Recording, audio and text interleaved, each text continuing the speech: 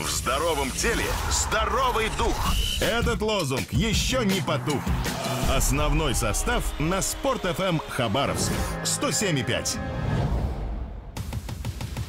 Доброе утро, уважаемые радиослушатели. Доброе утро те, кто нас слушает с 8 часов утра, и доброе утро тем, кто только что присоединился. А, как и обещали, у нас в гостях замечательный э, гость, прекрасный человек. Представь, пожалуйста, Данил, нашего гостя. У нас сегодня пресс-атташе Федерации бокса Хабаровского края Олег Наговицын. Будем мы э, в ближайшее время говорить, естественно, о, э, об этом прекрасном виде спорта, о боксе. Здравствуйте, Олег. Доброе утро. Первый вопрос, э, наверное, будет... Чем, же- чем жила Федерация бокса вот все это лето? Мы давненько с вами не виделись, не обсуждали новостей. Расскажите нам, Олег, что, что происходило? Традиционно лето для э, такого вида спорта, как бокс, э, является, скажем так, период, периодом накопления сил. То есть э, летом обычно не проводится большого количества соревнований, каких-то крупных соревнований. Но э, нужно сказать, что э, завершающееся лето, оно несколько из этой тенденции выбивается. Дело в том, что э, за это лето э, боксеры Хабаровского края смогли, э, может быть, даже где-то неожиданно для, для многих достичь ну, довольно высоких результатов. Прежде всего, э, необходимо сказать о двух ребятах, воспитанниках м, хабаровских тренеров а, Анатолия Лебедя и Василия Колодезникова, которые э, буквально в последних числах мая, то есть перед началом э, летнего сезона, сумели э, завоевать серебряные медали на проходившем в городе Кургане первенстве России среди юниоров. Необходимо отметить, что этот успех хабаровских боксеров, э, э, скажем так, стал последним успехом среди хабаровских юниоров за последние 9 лет. То есть, если говорить о медалях, которые завоевывались бы ребятами 17 и 18 лет, а это тот возраст, когда э, боксеры уже готовятся перейти э, во взрослый, Более бокс, да, взрослый. более взрослый, да, то у нас последним достижением, э, последней медалью, скажем так, российского первенства была медаль Александра Горбачева в 2006 году. А с чем это связано? Вот такой вот разрыв между, так сказать, да, да, между да, медальными достижениями. Нет. Ну, не- необходимо ответить, что, отметить, что все-таки бокс это, ну, я бы сказал, точечный вид спорта, да. То есть мы ждем, говорим- ждем рожд- рождения звездочек. Вот, э, Есть, есть волны, есть такие, такие э, тенденции, когда приходит один, два, три человека, э, какая-то группа ребят, которые добиваются определенных результатов. У нас э, в хабаровском боксе такое было неоднократно и в советские, и в российские времена. И вот э, я вам э, что хочу сказать. Юниорский бокс, он э, очень, я бы сказал, э, очень э, сложный для э, восприятия э, судьями. Вот. То есть это ребята, которые уже не юноши, э, они не просто так бездумно ма- машут э, кулаками на ринге, но это еще и не взрослые боксеры.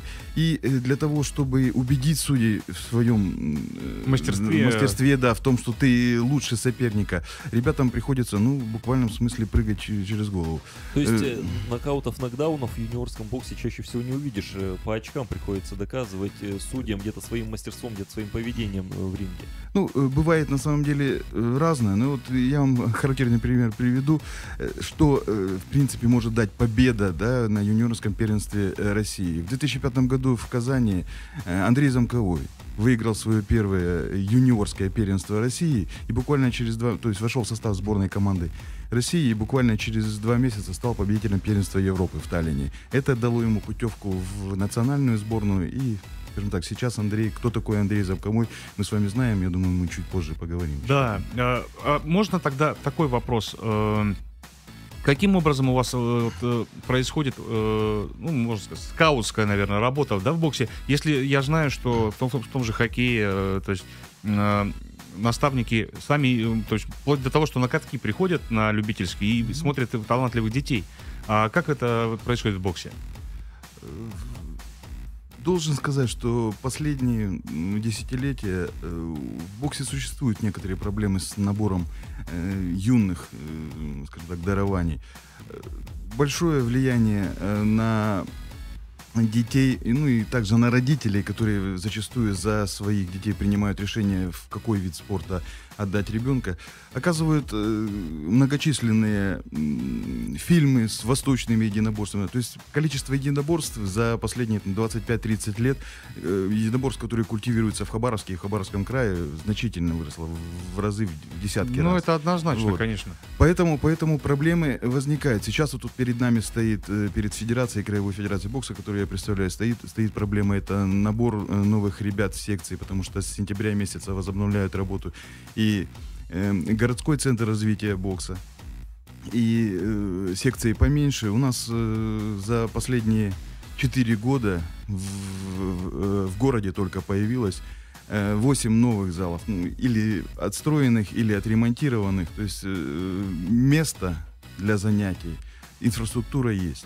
А как людям узнать, э, вот, ну, ну, как, как попасть в секцию Да, бокса, ку- наверное? куда- Как, как- куда ребенка привести? Как- Да, е- если ребенок дубасит папу, грубо говоря, да, куда его отдать?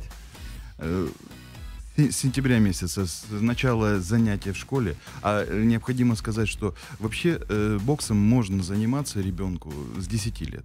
Вот, но, Желать- э, у на- желательно, э, скажем ну, э, скажем так, по, по, по всем э, антропометрическим данным, по всем, по всем показателям, раньше заниматься именно боксом, непосредственно работая в перчатках, э, раньше 10 лет можно не можно стоит. начать и закончить Да. э, карьеру, Да. так сказать. Но, но у нас э, сейчас э, осуществляет набор и более э, маленьких ребят. Занимаются общей физической подготовкой, подводят, скажем так.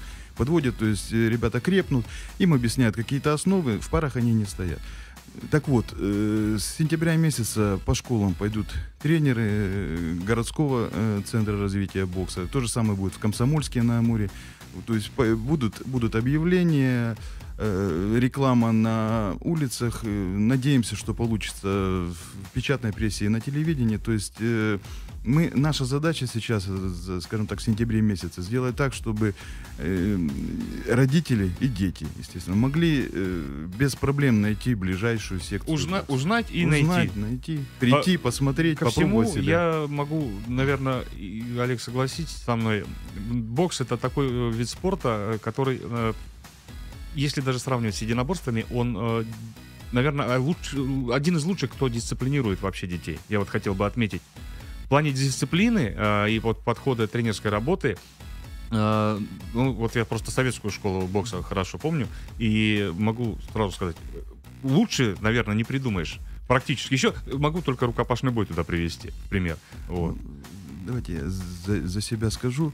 Э, Дело в том, что я тоже сам в свое время занимался боксом. И э, кроме этого попробовал себя в нескольких других видах спорта. И я вам э, хочу сказать, что э, да, это еще советские времена были, но тем не менее в, на соревнованиях по боксу, в залах, в раздевалках боксеров не было, мне не доводилось за пять лет занятий боксом встречать скажем так, каких-то агрессивно настроенных людей, каких-то провокаций, каких-то стычек, потому что О боксерам, боксерам хватает всего этого на ринге. То есть, если у тебя возникла неприязнь какая-то э, к какому-то из э, Оппонентов. оппонентов, да, ты вполне можешь выйти с ним на ринг и выяснить, кто из вас лучше. э, Кулачный бой, перчатки, рефери без проблем. Поэтому я должен сказать, что по собственному опыту боксеры это, наверное, все-таки самые спокойные из единоборцев. Ну, не знаю, не скажу за борцов, я думаю, что, может быть, они тоже. Но это вот два классических У меня вида. все друзья, которые боксеры, вот, э, очень спокойные люди. И даже если, допустим, какой-то конфликт возникает,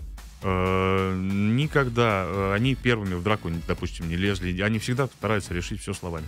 Ну, вот, э, так нас учили, в конце концов. Да. Вот. Ну, если, если позволите, я все-таки еще пару слов добавлю. Я сказал о двух ребятах, Денис Парилов и Дмитрий Генков. Это серебряные призеры первенства России среди юниоров. Э, в конце июня прошли в, в Баку, в столице Азербайджана, прошли первые европейские игры.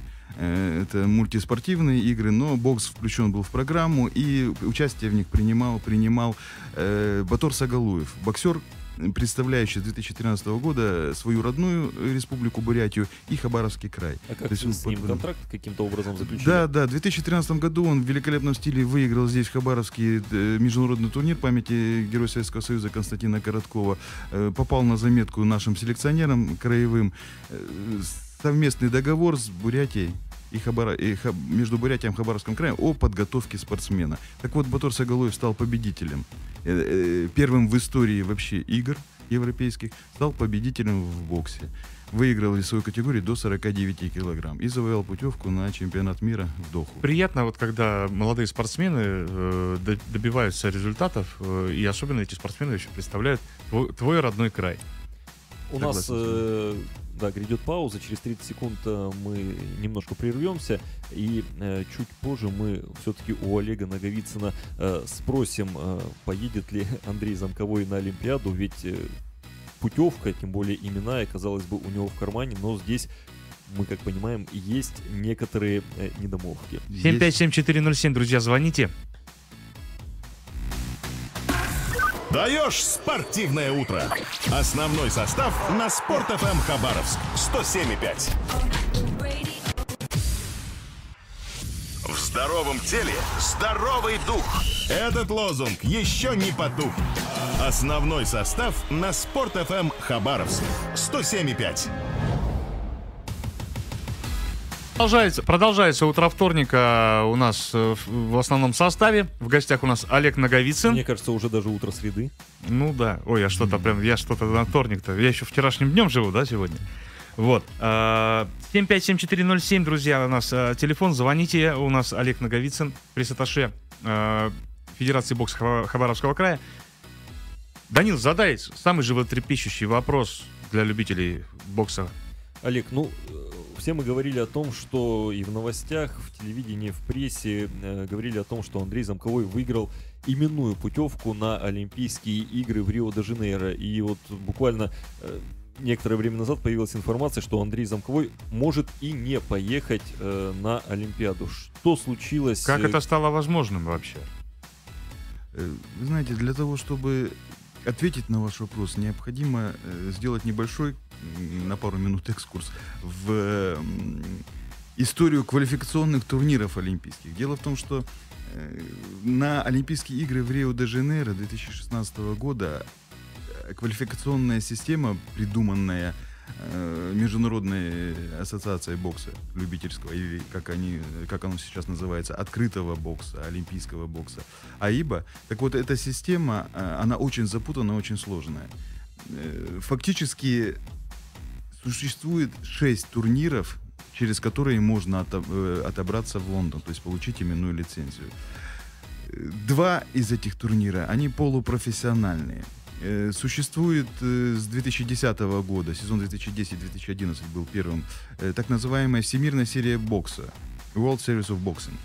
Э, Или э, ну, боксеры называют ее USB, WSB, ну, Мгм. коротко, U- USB. Так вот, э, победить э, м, первый номер рейтинга этой, этой самой версии, в которой участвует в том числе и сборная команда России. Э, В этом году она до полуфинала э, дошла сборная России. Э, Уступили казахстанцам, которые э, в итоге стали победителями, разгромив э, в финале кубинцев. И что эта первая строчка Так дает? вот эта первая строчка дает э, э, право на именную лицензию в Лондон. В весовой категории до 69 килограмм э, за сборную России выступал э, чемпион России 2014 года, выигравший у Андрея Замкового в финале э, чемпионата страны в Ростове-на-Дону ровно год назад, Раджа Бутаев. Так вот, Раджа Бутаев э, блестяще выступил в этой версии. Он одержал несколько великолепных побед, в том числе он э, э, очень уверенно одолел э, олимпийского чемпиона, э, там, призера чемпионатов мира, очень опытного кубинца Саталонга, которому Андрей Замковой, к сожалению, в этой же версии USB, но за год до этого, то есть в 2014 году, э, уступил. Вот. Первая лицензия в весовой категории 69 килограмм у России Раджаб Бутаев USB. Андрей Замковой во, второй, во втором турнире э, полупрофессиональном APB AIBA Pro Boxing. Это новый индивидуальный турнир, не командный, как USB. В нем выступают сильнейшие боксеры в каждой из 10 весовых категорий по одному человеку от страны. Э, Год назад, когда э, формировалась эта, эта версия, э, АИБа предложила выступать в ней Андрею Замкову, как сильнейшему на тот момент боксеру России в этом весе. Андрей Замковой, э, ну, что- чтобы не говорить долго, в июне и в июле текущего года одержал две очень важные победы. Восьмираундовые бои он проводил э, в городе Кемерово. Э, вы, э, выиграл у литовского спортсмена Станиониса. И вот э, буквально месяц, месяц назад э, в Кемерово он одолел венгра Дюлу КТ. Ну, Это после был- этого боя-то и заговорили, что Да, этот Андрей бой, получил это, э, лицензию. Этот был бой э, с, с венгром за э, право стать претендентом на титул чемпиона APB и параллельно или, скажем так, одновременно с этим э, э, победа в этом бою принесла Андрею олимпийскую лицензию именную. Но, как я уже сказал, одна э, лицензия в этой весовой категории у России уже есть. А принцип Олимпийских игр, что э, бокса на Олимпийских И играх, что теперь- не больше одного человека может участвовать. И что теперь весе. делать, Олег, расскажите нам. Вот это Так вот, такой э, момент. вот, по словам э, главного тренера России, э, олимпийского чемпиона, чемпиона мира Европы Александра Лебезяка, э, когда он узнал о том, что вот у нас есть две лицензии в этой весовой категории, сказал, что определять это здорово. То есть у нас есть два великолепных спортсмена, среди которых из них мы и выберем, собственно, лучшего. Как мы будем выбирать? Вот э, по, по словам э, того, того же Лебзика, речь пойдет о очных соревновательных встречах, достижениях на чемпионаты страны, э, о качестве и мастерстве соперников, которые э, противостояли этим ребятам в борьбе за олимпийский титул. Ну, Очень много, на самом деле, таких показателей. Если говорить о том, что об очных встречах, я уже сказал, год назад Андрей, к сожалению, в финале чемпионата России Раджабу Бутаеву уступил. Не все с этим Ну, согласны. это было год назад. Да, ну, тем, тем не менее, эта очная встреча, она единственная у них была на тот момент. Извините, Э, можно да. я включусь в разговор? Олег, это Владимир Лозовой, я вот не- немного поодали. Более того, по поводу чемпионата России, да, давайте вещи называть своими именами. Я разговаривал со многими боксерами, в том числе э, не только хабаровскими, и они все как один не согласны с этим результатом. Это вплоть до такого скрытого скандала какого-то, я не побоюсь Ну, резонанс слова. был тогда, конечно, Вов, да, ты прав. Ну, я, я, я вам скажу свое мнение, как человека, который ну, имеет некоторые представления о боксе. Андрей этот бой не проиграл. Андрей не проиграл, но поскольку соревнования проходили в Ростове-на-Дону, а уроженец Дагестана Раджа Бутаев э, последний год представляет в том числе и Ростовскую область, то это из, э, из категории тех боев, которые отдают хозяевам. То есть Андрей, ну, давайте скажем так, а- Андрей не был на голову выше. Это то, чего мы ждали, собственно, от олимпийского призера. Он э, выиграл этот бой в равном бою. Ну, руку не подняли ему. Такое в боксе иногда бывает. Ну, это не только Вот. в боксе. Ну, на то, э, давайте, давайте скажем так. э, то есть этот бой уже заигран. Этот, это Что было, то было. Нужно да. выбираться из Да. ситуации сейчас. Вот. Здесь и сейчас. До, до августа месяца, вот сразу, как только у Андрея появилась лицензия, э, психологическое преимущество в этом заочном споре, да, с э, Бутаем, ко- кому же отдать предпочтение, все-таки было, по моему мнению, на стороне Бутаева. Я уже говорил о том, что как он разобрался с кубинцем Саталонга, которому Андрей проиграл. Вот.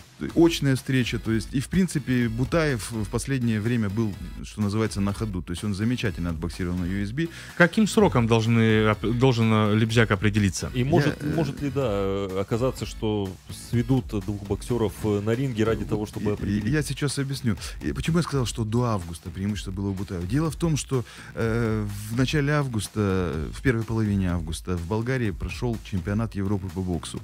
В весовой категории до 69 килограмм представлял Россию Раджа Бутаев.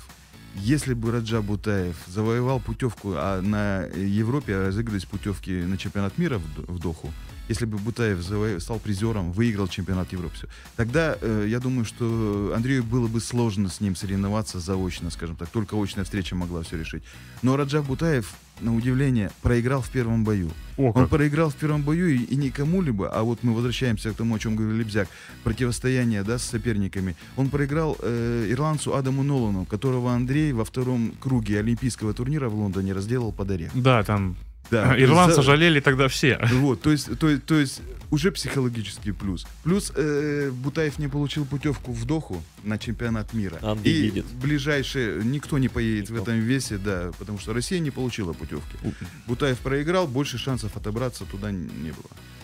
Э, Значит, ближайший турнир, на котором Бу- Бутаева можно будет посмотреть в деле, это будет чемпионат России в Самаре в в последних числах ноября этого года. Андрей Замковой в сентябре встретится в 12-раундовом бою с турком Ануром Сипалом За звание чемпиона. чемпиона APB. Так вот, э, в я думаю, что в Самаре в ноябре все решится, потому что Лебзяк должен дать ответ свой до 4 декабря. Э, вот, в принципе, э, Вот пока вот- коротко. Ин- интрига месяца, получается, на, на три месяца, да, у нас интрига, кто поедет Подождем, подождем, потерпим. А, 757-407, друзья, наш телефон в студии. Э, В гостях у нас Олег Наговицын. У нас небольшая пауза. На Готовьте вопросы. да, на- прервемся на новости от Владимира Лозового. От веселых стартов до олимпийских вершин. Основной состав на Спорт ФМ Хабаровск 107,5. Спорт начинается с семьи.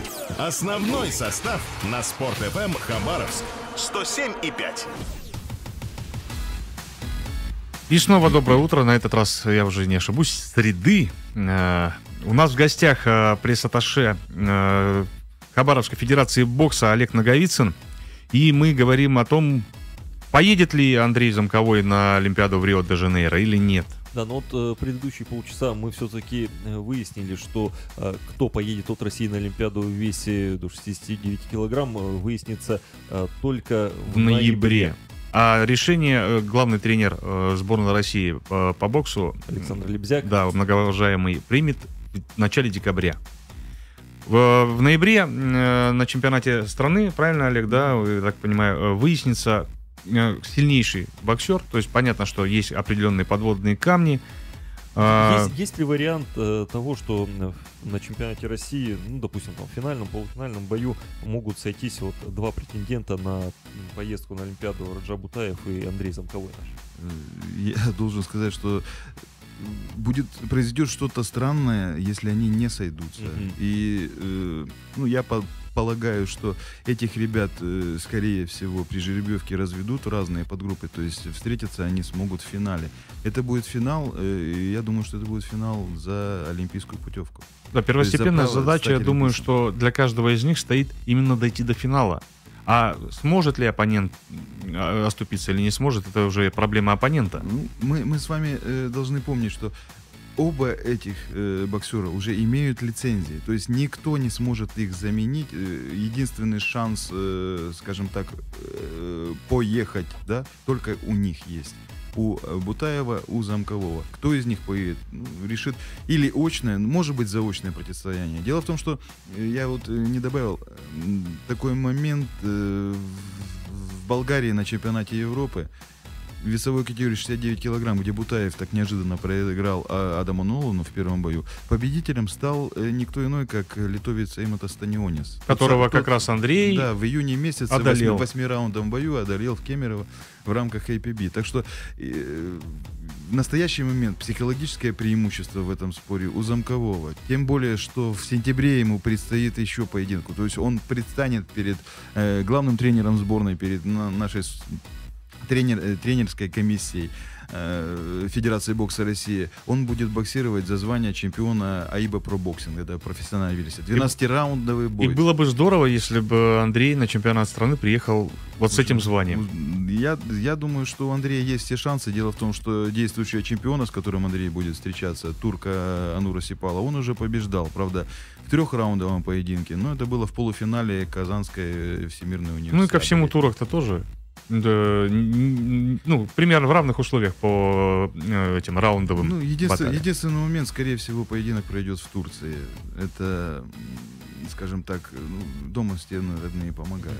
А я вот хотел э, спросить, чем принципиально и насколько сильно отличается трехраундовый поединок от того же 12-раундового? И какая э, тактика может быть избрана боксером, который привык именно работать в трех раундах?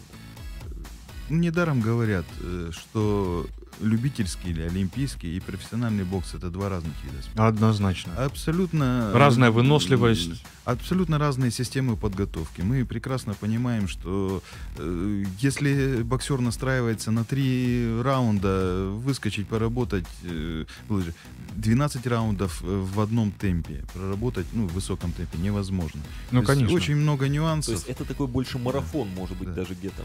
И я вот там э, скажу еще, слышал, слышал признание чемпиона Европы в весе 69 килограмм Эйнмаса со Станионисом. Было тяжеловато ему. Он только в конце июля провел рейтинговый бой, восьмираундовый. И вот буквально через там три недели вышел на ринг боксировать три раунда. Ему было тяжеловато, но он смог адаптироваться. Ну, в любом случае, это практика, это тренировки, и очень хочется надеяться, что у нашего Андрея Замкова все получится. Да, мы верим в Андрея и будем... Наверняка будет транслироваться этот матч, если не в телевидении, то в интернете. К этому моменту у нас э, наш э, супер э, спортивный канал должен заработать на всю катушку, да, я так Ну, я предполагаю? не знаю, из Турции они наладят трансляцию или нет. Ну, а, э, APB, AIBA организует трансляции, то есть посмотреть в интернете можно, это не будет большой проблемой.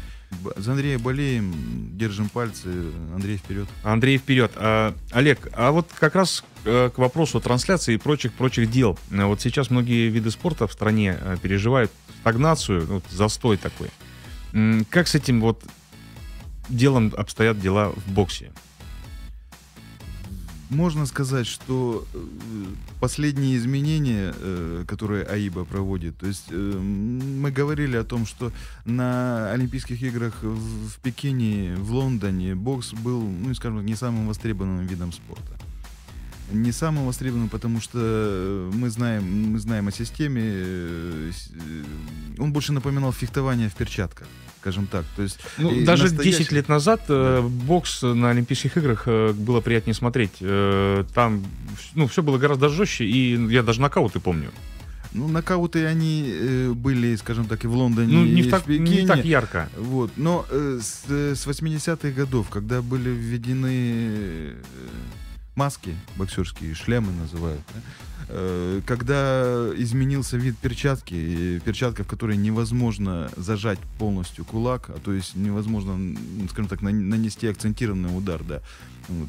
Все, все это сыграло свою роль. Электронная система судейства тоже. То есть э, вы представляете себе, что э, э, судьи сидели и просто нажимали на кнопочки, Конечно. так сколько ударов нанесено. То есть были, были поединки, в которых э, оба боксера умудрялись там за три раунда э, э, считались только попадания, да, то есть пропустить там до, до сотни ударов. Ну, на самом деле система о- очень сложная. Сейчас э, АИБа возвращается, олимпийский бокс возвращается к истокам, убрали маски, перчатки стали чуть-чуть полегче, ближе к профессиональным, убрали систему судейства электронную, то есть сейчас идет система по, э, по, по раундам, Ка- после каждого раунда судьи свой- свою информацию Свой выдают, вердикт да, выдают. да, то есть э, победившему боксеру в раунде 10 очков дается, проигравшему 9-8 в зависимости от того, насколько он сильно проиграл. Активно или Да. неактивно себя вел. То есть э, система приближается к профессиональной, э, более зрелищной.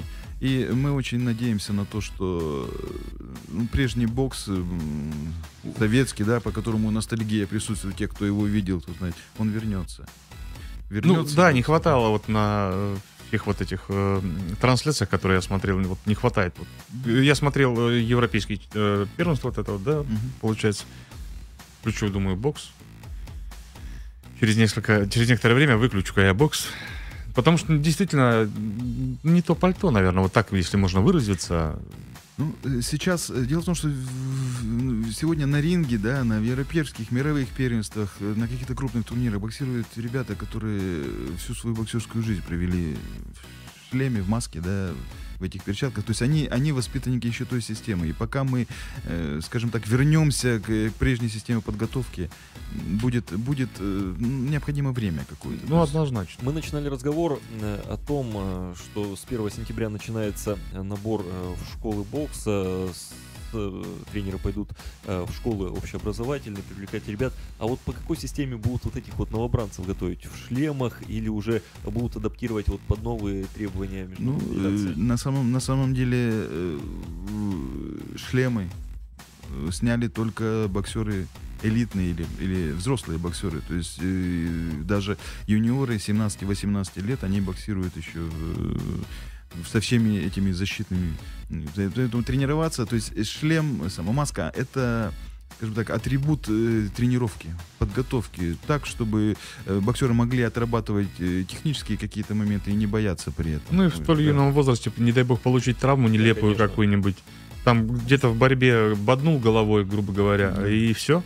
Кстати, большое количество э, так называемых сечек, да, травм легких таких э, в последнее время появилось именно по той самой причине, что убрали шлем, да, у взрослых боксеров, а а ребята привыкли, что у них э, голова таким образом защищена и лезут головой. То есть это э, чаще всего это обоюдное движение, опасное движение головой, то, чего надо избавляться. Ну, это- элементарно, сломать скулу, это значит получить травму, на которой, которой будут пользоваться твои соперники. Это сто процентов.